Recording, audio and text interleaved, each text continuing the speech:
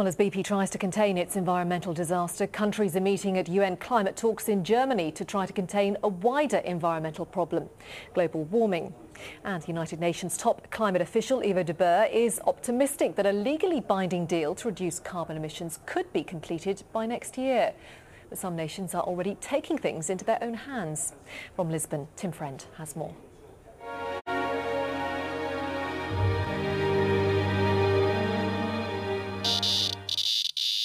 It looks like the set of a big budget Hollywood science fiction film. Panels tilted skywards, trying to make contact with aliens. In fact, this is the world's biggest solar energy park.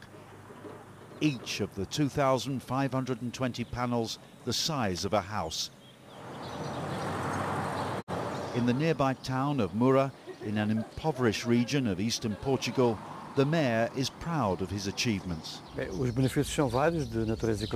There are economic, social and environmental benefits. It has contributed to create employment. More than 100 people work at the solar park, at a solar panel factory and other activities which were developed from this project. Here, even the parking meters are powered by solar energy. It's the sunniest spot in Europe. But faced with an economic crisis, will Portugal's push for renewable energy come under threat? Tourism is traditionally the big earner here. Then, a few years ago, it was decided that the sun, sea and wind offered more than just holidays. Huge wind farms were commissioned to power Portugal's towns. It expects to generate 31% of all its energy from clean sources by 2020 its ambition to top the European Renewables League. Like other countries in Europe, Portugal is suffering during the economic downturn, but its decision to concentrate on renewable energy is helping it to survive. Projects like this have created thousands of jobs across the country, sometimes replacing traditional industries that have failed.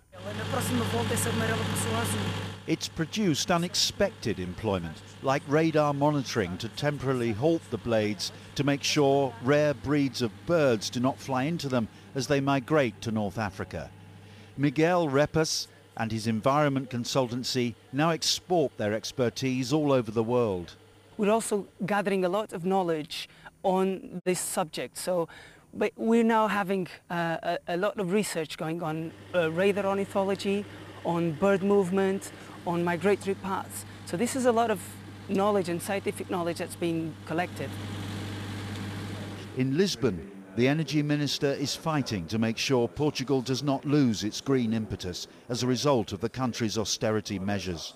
We can't put through the ideas of lower emissions and energy efficiency as a restriction, but as an opportunity to do things differently. And to do things differently employs a lot of people attracts a lot of investment and is another business opportunity.